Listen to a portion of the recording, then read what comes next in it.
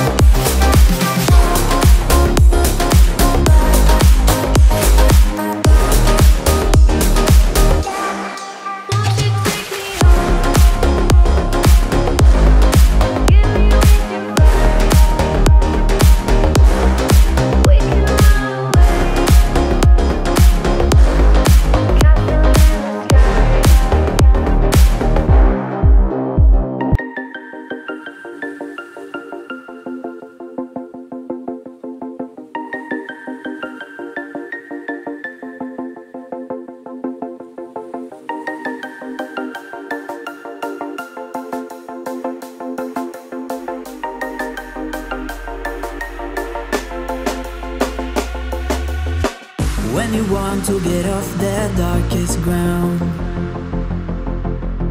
But gravity pulls you straight down. Earth from a bird's eye view. You should grow feathers and see this too. When you